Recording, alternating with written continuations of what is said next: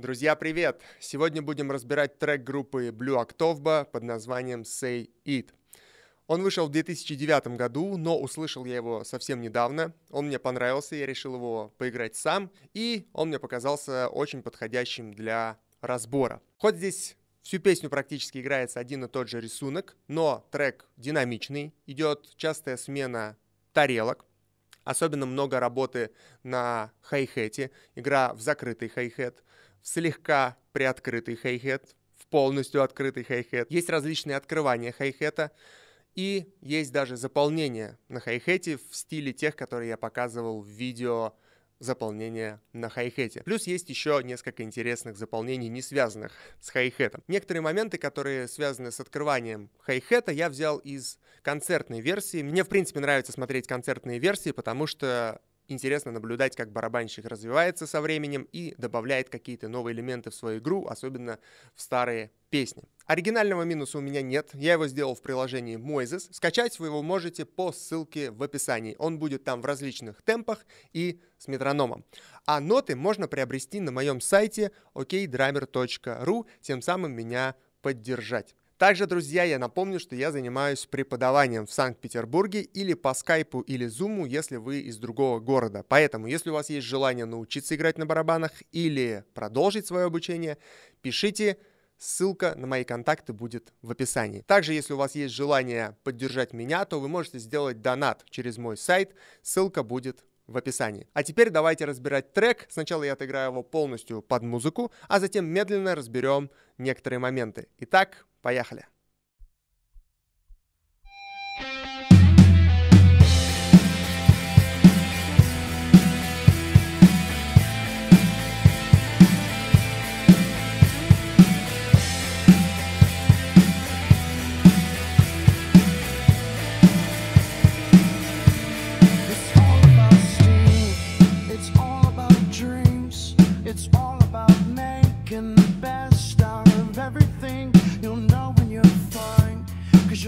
like a mime.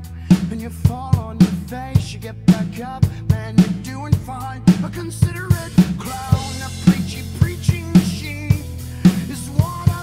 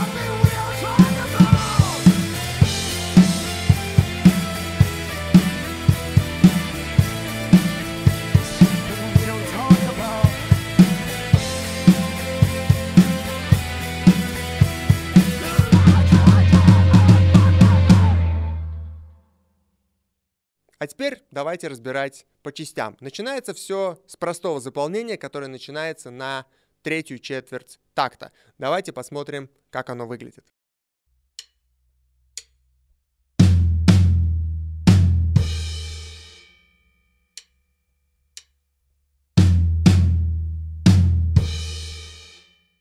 И дальше идет простой рисунок в открытый хай-хет. Давайте посмотрим, как он выглядит.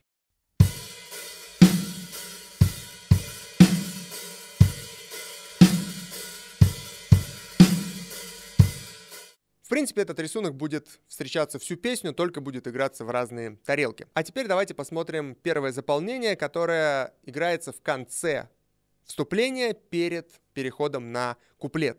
Очень интересное заполнение. Барабанщик играет по-прежнему рисунок, но в момент, когда он играет в бас-барабан, он играет удар в напольный том, затем в первый том, затем возвращается в малый барабан уже без бас-барабана, и затем играет опять удар в напольный том, но без бас-барабана. Мне показалось интересным заполнение, потому что я бы сыграл наоборот. Я бы сыграл первый, третий, малый, третий. Но он пошел в обратную сторону. Это интересно. Но на одном лайве я видел, как он играет как раз-таки вот ту версию, которую я бы сыграл. Но это было только один раз. В основном он играет все-таки в обратную сторону. Давайте посмотрим, как оно выглядит.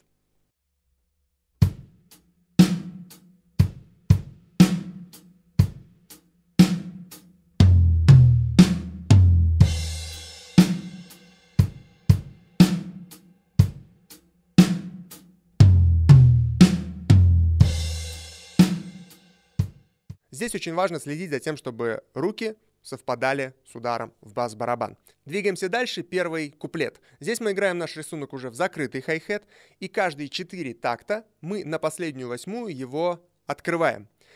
Я сейчас сыграю версию с открыванием на каждые два такта. Таким образом, он будет играться во втором куплете. Этот момент я взял из концертной версии. Мне показалось, что это добавляет динамики второму куплету.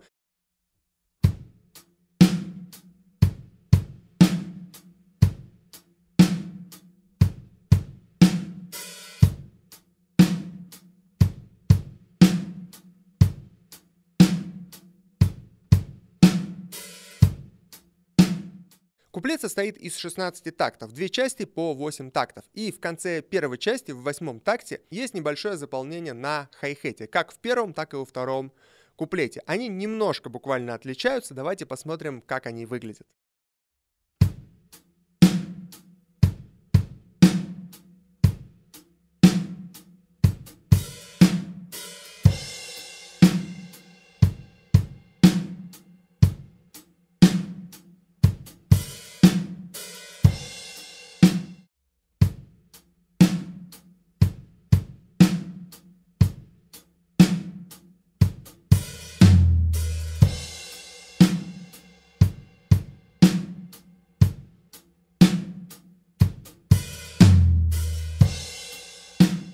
Первое открывание хай-хета я опять взял из концертной версии, на студийной версии его нет. Теперь вторая часть куплетов. Тот же самый рисунок, но играется в слегка приоткрытый хай-хет. Это добавляет немножко динамики и напряжения моменту. Я не буду показывать этот рисунок отдельно, думаю, тут сложностей не возникнет. Просто совсем слегка приоткройте хай-хет. И в конце куплета мы играем заполнение. Давайте посмотрим, как оно выглядит.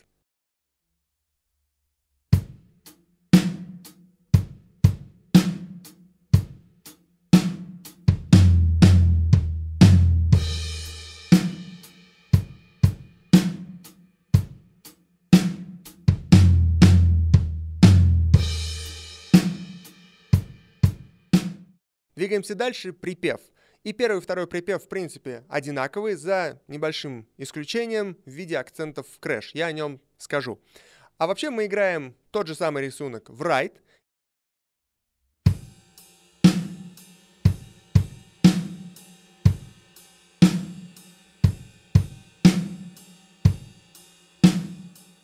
А в конце припева играется заполнение, которое мы уже знаем, точно такое же заполнение, как и в конце куплета. Во втором припеве, в шестом и седьмом такте добавляются акценты в крэш, На нотах вы это увидите, будьте внимательны. В принципе, они не обязательные, но если получится, то и хорошо.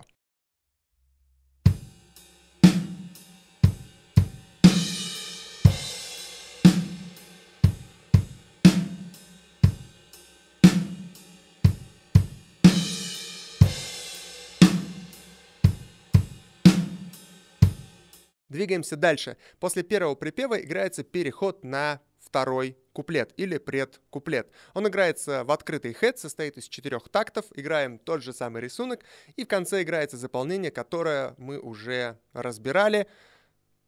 С бас-барабаном третий том, с бас-барабаном первый том, затем малый барабан и опять третий том. Затем идут второй куплет, второй припев, о которых мы уже говорили, и затем опять идет переход на следующую часть, но теперь уже переход не на третий куплет, а на бридж. И теперь давайте разбирать сам бридж.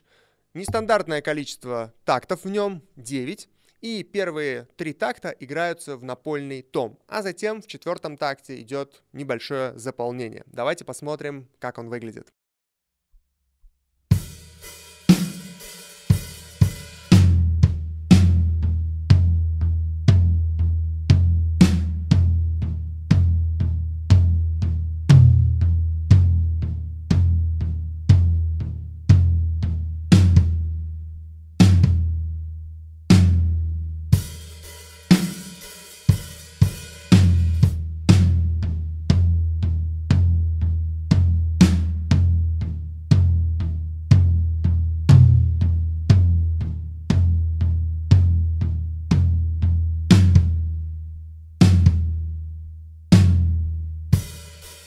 Следующие три такта немного изменился наш рисунок. Мы играем его уже в крэш и добавляем еще один удар в бас-барабан.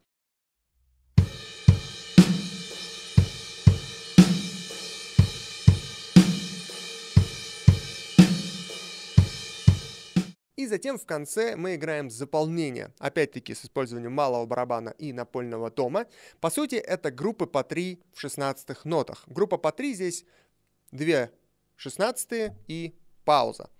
Папам, пауза, папам, пауза, папам, пауза. Но только это в 16 нотах. Папам, папам, папам, папам, пам, пам, папам, папам, папам, папам, пам, пам, пам.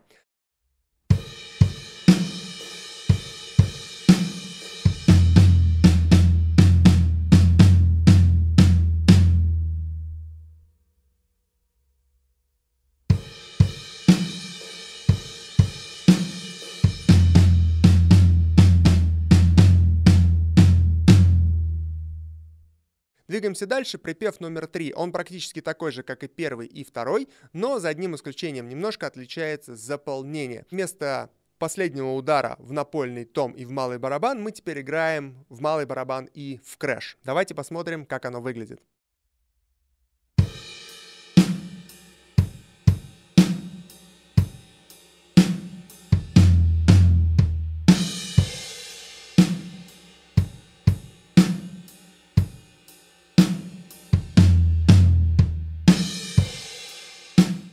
И вот мы добрались до концовки или коды. Первые ее четыре такта играются по-прежнему в ride. В первом такте есть акценты на первую четверть и на вторую четверть с малым барабаном.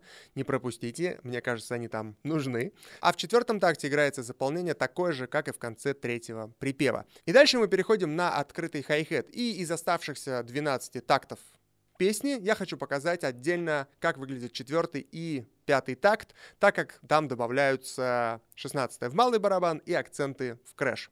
Давайте посмотрим, как они выглядят.